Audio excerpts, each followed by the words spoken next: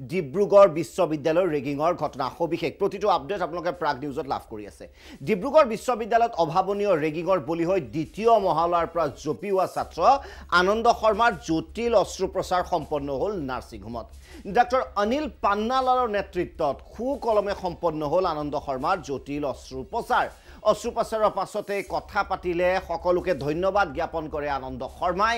আনন্দ শৰ্মাৰ আৰোগ্য কামনাৰে ঢেকীয়াখোৱা বৰ নামঘৰকে ধৰি বিভিন্ন স্থানত প্ৰাৰ্থনা কৰে ৰাইজে। গতিকে আপোনালোকক জনাওঁ যে সকাহৰ খবৰ ভাল খবৰ ইতিবাচক খবৰ যে আনন্দ শৰ্মাৰ যি জটিল অস্ত্ৰোপচাৰ হৈছিল দীঘলীয়া সময় ধৰি হৈছিল কেইবা ঘণ্টা ধৰি চলিছিল অস্ত্ৰোপচাৰ সমগ্ৰ অসমবাসীয়ে প্ৰাৰ্থনা কৰিছিল যাতে অস্ত্ৰোপচাৰ সফল হয় আৰু অৱশেষত ৰাজ্যবাসীৰ প্ৰাৰ্থনা যেন নেদেখাজনে শুনিলে আৰু অস্ত্ৰোপচাৰ সুকলমে হৈ গ'ল আনন্দ শৰ্মাৰ। গতিকে ৰাজহাড়ৰ মূল যি বিভিন্ন টুকুৰা টুকুৰ হৈ যোৱা বুলি কৈছিল চিকিৎসকে সেই ক্ষেত্ৰত যিটো কৃত্ৰিম হাৰ সংযোজন কৰাৰ কথা আছিল আৰু অস্ত্ৰোপচাৰ সফলভাৱে ইতিমধ্যে সম্পূৰ্ণ সম্পন্ন হৈছে। আৰু এই ক্ষেত্ৰত আকৌ কৈছোঁ যে সকাহৰ খবৰ বুলি ক'ব লাগিব। নহ'লে গোটেই ঘটনাটোৱে আচলতে এক বিশেষ ধৰণৰ সমগ্ৰ ৰাজ্যবাসীৰ মনত আচলতে ৰেখাপাত কৰি গৈছে। আৰু সেইবাবে সমগ্ৰ ৰাজ্যবাসীয়ে যি কোৱা হয় যে ঢেকীয়াখোৱা বৰ নামঘৰকে ধৰি বিভিন্ন স্থানত ৰাইজে প্ৰাৰ্থনা কৰিছে। চিকিৎসকে কি মন্তব্য কৰিছিল অস্ত্ৰোপচাৰ সম্পৰ্কে? যিটো খবৰৰ বাবে যিটো বাইটৰ বাবে যিটো মন্তব্যৰ বাবে সমগ্ৰ অসমবাসীয়ে অধীৰ আগ্ৰহেৰে বাট চাই আছিল সেই বাইট আপোনালোকক দেখুৱাব বিচাৰিছোঁ। হৈ গ'ল। এই এইমাত্ৰ মানে প্ৰায় পোন্ধৰ মিনিট আগতে বাকী এতিয়া চিলাই তিলাই কৰি অলপ পাছতে দহ মিনিট পাছত তাক আই চি ইউলৈ শ্বিফ্ট কৰা হ'ব। তাৰ যিটো যি টুকুৰা বনে গৈ পেলাই তাৰ স্নায়ুৰ ওপৰতে প্ৰেছাৰ দি আছিলে সেই বন টুকুৰা উলিয়াই দিয়া হ'ল। আৰু টাইটেনিয়াম প্লেট আৰু স্ক্ৰু দি পেলাই তাৰ এই বনখিনি চব ফিক্স কৰি দিয়া হ'ল। এতিয়া মই এইমাত্ৰ নিউৰ' চাৰ্জন যিজন স্পাইনেল চাৰ্জনৰ লগত কথা পাতি আহিলোঁ। তেওঁ কৈছে যে ল'ৰাটো খুব ভাল তাৰ ৰিকভাৰী খুব ভাল হ'ব সি সোনকালে সুস্থ হৈ উঠিব। আৰু তেওঁৰ মতে পৰহি কালি এখন এক্স ৰে কৰিব পৰহি ল'ৰাটোক তেওঁলোকে বহাব বিচনাত। আৰু তাৰ পাছতে লাহেকৈ দুই দিনতে তাক খোজ কঢ়াব। গতিকে আমি আশা কৰোঁ এসপ্তাহৰ ভিতৰতে খোজ কাঢ়িবলৈ আৰম্ভ কৰিব।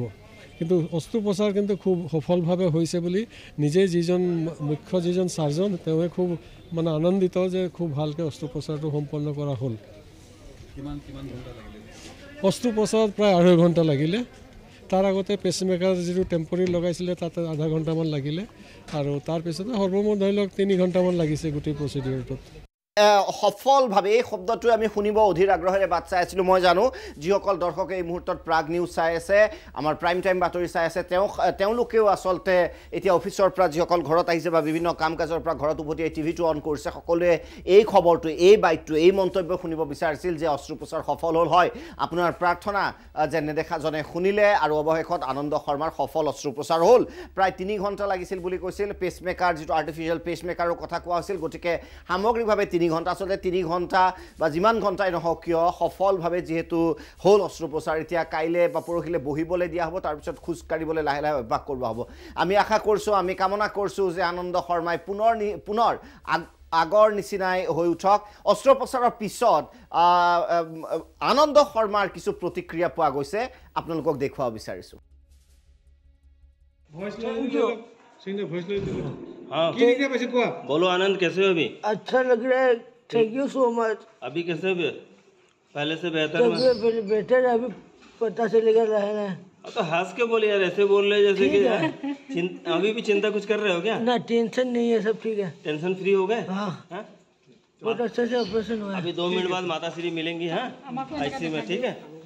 थैंक यू গতিকে এই এই হাঁহিটোৱে আমি বিচাৰিছিলোঁ আচলতে যদিও যথেষ্ট কষ্টত আছে ডেফিনেটলি নিশ্চিতভাৱে ইমান ডাঙৰ অস্ত্ৰোপচাৰ গতিকে কিছু কষ্ট হোৱাটো স্বাভাৱিক কিন্তু তথাপিও হাঁহিবলৈ চেষ্টা কৰিছে আচলতে এয়াই জীৱন জীৱন সংগ্ৰাম এয়াই য'ত বিপৰীত পৰিস্থিতিও আচলতে হাঁহিবলৈ চেষ্টা কৰা হয় আৰু আশাৰ ৰেঙনি আছিল। গতিকে ভাল খবৰ আপোনালোকক জনালোঁ। ইপিনে ৰেগিঙৰ বিৰুদ্ধে কঠোৰ স্থিতি দোহাৰিবলৈ দোহাৰিলে মুখ্যমন্ত্ৰীয়ে। হোষ্টেলৰ পৰা যিটো ছুপাৰ ছিনিয়ৰ বুলি কোৱা হয় তাৰ ব্যৱস্থা নোহোৱা কৰাৰ হুংকাৰ দিছে মুখ্যমন্ত্ৰীয়ে। হোষ্টেলত কোনো প্ৰাক্তন ছাত্ৰই থাকিব নোৱাৰিব বুলি সকীয়াই দিছে। মুখ্যমন্ত্ৰীয়ে। ইপিনে বিশ্ববিদ্যালয় ৰেগিং বিৰোধী সমিতিয়ে হাজিৰ হ'বলৈ এঘাৰজনলৈ জাননী প্ৰেৰণ কৰিছিল ডিব্ৰুগড় বিশ্ববিদ্যালয়ত। যদিও শুনানিলৈ আহিল মাত্ৰ চিত্ৰবন বৰুৱা নামৰ ছাত্ৰজন। এজন। চাৰিজনে ল'লে ভাৰ্চুৱেলি অংশ। ৰেগিং কাণ্ডৰ অন্যতম অভিযুক্ত দিব্যজ্যোতি গগৈ নামৰ ছাত্ৰজনে আদালত আত্ম আদালতত আত্মসমৰ্পণৰ বাবে যোৱাৰ সময়ত গ্ৰেপ্তাৰ কৰে ডিব্ৰুগড় আৰক্ষীয়ে। গতিকে আত্মসমৰ্পণ কৰিব বিচাৰিছিল কিন্তু আৰক্ষীয়ে আত্মসমৰ্পণ কৰাৰ সুযোগ নিদিলে আটক কৰিলে গ্ৰেপ্তাৰ কৰিলে। আনহাতে বৰ্তমানেও পলাতক মূল অভিযুক্ত বুলি যাক চিনাক্ত কৰা হৈছে ৰাহুল ছেত্ৰী বৰ্তমানেও পলাতক। আৰক্ষীয়ে সম্পূৰ্ণৰূপে প্ৰচেষ্টা অব্যাহত ৰাখিছে যে কেনেকৈ গ্ৰেপ্তাৰ কৰিব পাৰি ৰাহুল ছেত্ৰীক। কিন্তু বৰ্তমানলৈ কোনো ধৰণৰ সংসূত্ৰ উলিয়াব পৰা নাই ক'ত আত্মগোপন কৰিছে ৰাহুল ছেত্ৰী। আৰু আচলতে কিমান দিনলৈ পলাই থাকিব সেয়াও এটা ডাঙৰ প্ৰশ্ন। গতিকে আইনৰ আওতালৈ এদিন নহয় এদিন হয়তো আহিবই। আইনৰ দীঘলীয়া হাতত এদিন নহয় এদিন গ্ৰেপ্তাৰ হ'বই। কিন্তু কেতিয়া হ'ব সেয়া লক্ষণীয় হ'ব পৰৱৰ্তী সময়ত। কিন্তু ডিব্ৰুগড়ৰ এই আপডেটসমূহ আপোনালোকক পৰৱৰ্তী সময়ত দি যাম। মুখ্যমন্ত্ৰীয়ে কি কৈছিল? মুখ্যমন্ত্ৰীয়ে কি কৈছিল? কঠোৰ স্থিতি সম্পৰ্কে কি ঘোষণা কৰিছিল দেখুৱাব বিচাৰিছোঁ। আমি তিনিটা আইন প্ৰণয়ন নালাগে তিনিটামান কাম আমি কৰিব লাগিব। এটা হ'ল বিশ্ববিদ্যালয়সমূহৰ চৌহদৰ পৰা এক ষ্টুডেণ্টসকলক আমি বিদায় দিব লাগিব। কাৰণ তেওঁলোক যে থকাৰ এটা কিবা ছুপাৰ বৰ্ডাৰ কিবা কিবি নাম ওলাই আছে মই এইকেইদিন শুনি আছোঁ। গতিকে আমি খুব সোনকালে চৰকাৰে অভিযান এটা চলাব যে বিশ্ববিদ্যালয়ৰ ছাত্ৰবাস বা মহাবিদ্যালয়ৰ ছাত্ৰবাসত প্ৰাক্তন ছাত্ৰ ছাত্ৰীসকলে যাতে থাকিব নোৱাৰে।